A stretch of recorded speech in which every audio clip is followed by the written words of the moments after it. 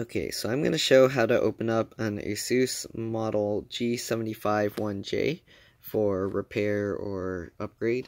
So first what you want to do is remo remove these little um, rubber things. So what I use is I just use a little thumbtack or needle, stick it in the little hole, and then just pry it to the side to pull it out. Um, so there's four up here, two here, and then four more down here. So once you remove all those, you want to take the screws out. So there's one, two, three, four, five, six, seven, eight, nine, ten, eleven. All right. So remove all those screws and then lift this thing up so you can use like a flathead screwdriver or something. So lift that and then take the screw or um, undo the screw here. It stays in place because there's a little washer thing holding it. Once you do that, you can pull on this tab. Once you get it the corner up a little bit. I like to use my nails to go underneath and then just pull it. So there's a lot of clips here, so it's kind of hard to pull, but yeah, just pull on it and you should be able to get it out. Okay. So the clips on the side kind of grip in. So what you want to do is when you pull it on the middle, kind of flex it like this, and that'll help get the clips out. Okay.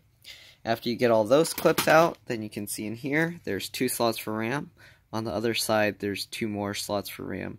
So first what you want to do is remove the key, um, the hard drive screws. So each hard drive is held in by four and then you just slide it to the side like this. Okay, set these things aside. So take the one hard drive out here and then take the other hard drive out here. Um, yours might have a M.2 um, I believe this is this might be an NVMe slot, I'm not sure. But it looks like there's a slot here for an SSD, so you might have that. Okay. So once you do that, there's screws under here as well. So um, you want to remove this one screw here. That will allow you to take out the CD drive. So once you do that, just get your fingernail along there and oh, if that doesn't work, pop this back in. If that doesn't work, what you gotta do, um, is take a needle. see here. So get a needle, and on the side you'll see um, this hole here. Uh, it's kind of clogged with some gunk, so I don't know if it'll work. Is it that one? It should be this one. Yeah, okay. So, sorry, I had to clean the gunk out. I didn't see what I was doing. But yeah, just get the needle in there, and then push it, and it'll release that, okay?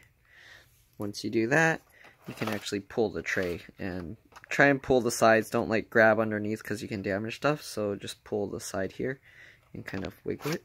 There you go. Alright. Okay, so set that aside. Alright, so once you get that, there's three more screws under here. You want to remove these three as well. And then, so we already got the CD one. So there's one here, two, three, four more. Alright, and then that should be all the screws. Um, so once you do that, flip it over. Okay, so on the back here, right here, this piece comes out. So what you want to do is just get between the layer here and just pull on it. Okay, just like that. So go around, go on the sides like that. It's a little bit tough to get out because there's like these weird flat pieces. And be careful because there's a wire underneath. So just go around. Um, this part goes all the way down here, so it's not up here, okay? So just kind of pull that, wiggle it, and remember to be careful because there's actually um, a cable connected for the speakers underneath this, okay? So just be kind of careful with it. It gets stuck because they have like some longer bits of plastic sticking out that it gets caught. So just see. So the plastic kind of protrudes out like that. And then, let's see here. So these plastic things stick out in the back. Alright, so let me see if I can show this. I can't really hold it with, so let's see if I can rest on my arm and do that. So basically this, this cable, you have to kind of pull on one side with one, with two fingers and then pull on the other one with your other two fingers. So grip it like this, okay, with your fingernails, and then the other one you have to kind of grip too. I don't know if I can show this on camera. So there we go. Okay, so basically like that, okay? You unplug it. There were some little rubber things in here. Um, I took them out because, I don't know, they don't really do anything, so I just took them out. Um, my guess is maybe they were putting it on top of the screw so that the adhesive prevents it from twist untwisting itself, but yeah. So then comes the difficult part. So what you want to do is open the screen. So you can see this one, the keys are all messed up, so I have to replace the keyboard. So what you do is you have it open like 90 degrees like this, okay? Then you go to the, the edge here, and you just go around, and then pull it, pull the edge back while you push on this, and then you have to kind of pry this out. I don't know if I can do this with one hand while holding the camera to show a close-up view, but I'll try my best. So just go around, this one has some broken pieces. Okay, be careful with the, the CD drive slot because you can actually break that plastic.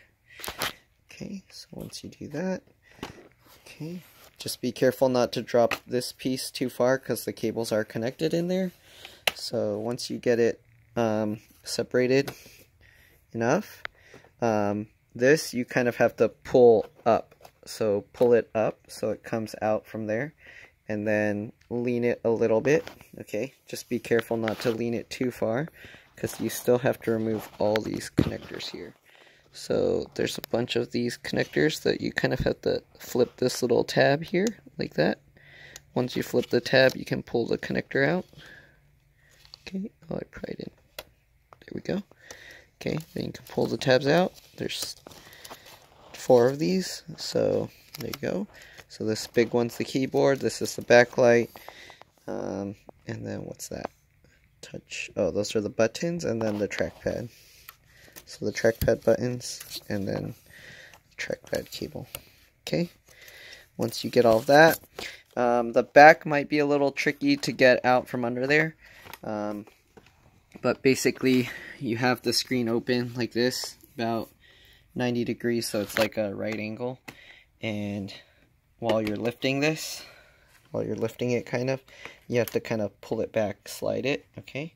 And you might have to adjust the angle a little bit to get it because it'll get caught um, on the bottom. There's like things that get caught. So kind of just wiggle it while you're pulling it and it should come out like that. Okay, and then be careful with the cables underneath. You don't want to damage them. Okay. So the keyboard on this model, if you're replacing this whole piece, then it's not bad. Oops, I didn't get that cable out all the way. But yeah, if you're replacing the whole panel, it's not that difficult to do.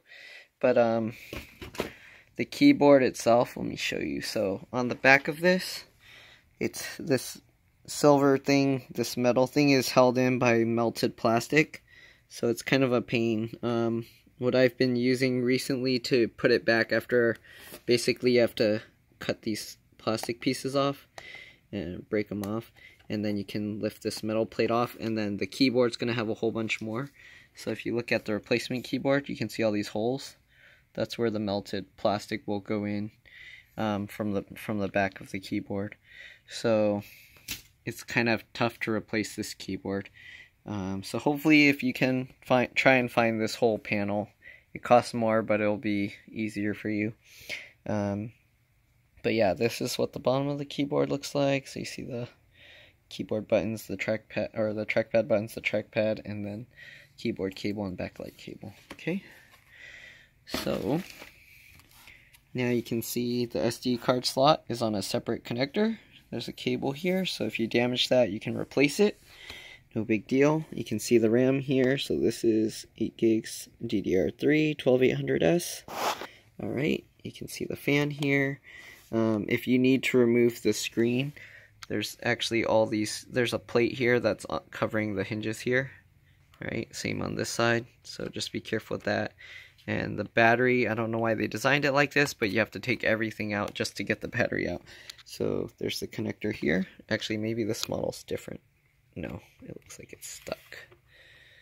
Yeah, so I think, uh, oh, you don't have to take everything out, but you at least have to take off the screen, I think. So, unless this design has the screws underneath the motherboard, which I worked on another one and it did, so it might be the same. Um, then you got the wireless card to get the antennas out. Remember, pull up from the back, just like my other videos. Don't pull from the front or you'll damage this, okay? Just pull the tail up straight from the back. It'll kind of tip diagonally forward. It'll flip up like that, and then it'll come off. And then when you put it back, just line it over the hole. You can tell it's lined up when you try and move it, and it just stays there, and then just push down. Um, if it's not going, don't push too hard because you might damage. Just make sure it's lined up. So you got this cable here for the two USB 3 ports. It's connected here. So if you break those, you can replace this little board. Um, then you got the DC jack here. Um, I don't know if this board is actually for the DC jack. Sometimes it's underneath. But um, I think, yeah, that might be for the DC jack. So you got the DC jack board and then the whole logic board you can see. Alright, underneath all the heat sinks all underneath. I'm not going to take that all out. Um, if you know how to take all this out, you should be able to take the whole board out. So, yeah, if you don't, then you probably don't want to mess up your computer, so don't do it. Um, but this is the LCD cable connector. Alright. And then this this connector. This is going towards oh, I think that's the speaker cable. It just extends it all the way out here out to here. Yeah. So that's the speaker cable. And that's pretty much it. So oh, then there's one more speaker here. I think this is the subwoofer um, board because it plugs to this, which looks like a speaker, subwoofer speaker. Alright, that's pretty much it. I'm pretty sure this one, like all the rest, um, have a soldered in CPU, but if you want to check, you can probably look up the motherboard model number based on this. Just look up for this computer motherboard on like eBay or something. Then people will be selling it with the thing that you can see both sides. And that's usually how I find out how a lot of these computers are assembled. If I can't find like a video or anything online, I'll look for pictures of the parts online and just from looking at it you can tell like this one has all these little holes and it'll be a pain. Um, for this model I couldn't find the whole panel um, so that's why I opted for just the keyboard and hopefully it won't be too difficult to replace but yeah that's pretty much it hope this helped you um, if it did, please like and subscribe because that'll help me. And if you really appreciated it, um, feel free to send me a donation or something so I can continue doing this. Um, the information for my PayPal, Venmo, and Zelle and stuff are all in my um, uh, video description about me page. Alright, thanks for watching. Bye.